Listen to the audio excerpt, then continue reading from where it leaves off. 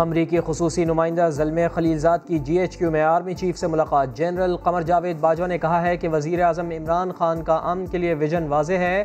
कौमी ताकत के तमाम अनासर इस विजन को हकीकत की शक्ल दे रहे हैं। जलम खलीलजाद बोले, पाकिस्तान की संजीदा और गैर मशरूत हमायत के बगैर कामयाबी मुमकिन नहीं थी।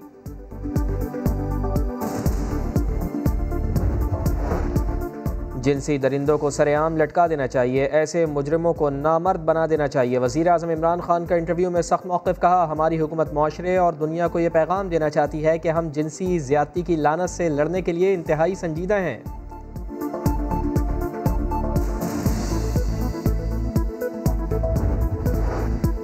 और मोटरवे ज़्यादा केस के पर्दे उठने लगे। दो मरकजी मुलजमान में से एक शफकत गिरफ़्तार। आबिद ताहाल फरार। मुलजिम शफकत का इतराफ़ जुर्म। डी एन ए मैच कर गया। वारदात कैसे की? मुलजिम ने अपनी सफाकी की दास्तान सुना दी, बताया।